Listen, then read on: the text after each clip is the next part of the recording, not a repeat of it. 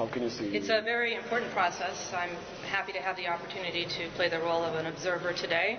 Uh, it's just getting started. It's still early, uh, but I plan to travel around the country to visit polling centers in many municipalities, as do uh, the 30 other teams from the U.S. Embassy and the European teams and the international and local teams that are observing these elections. It's very important.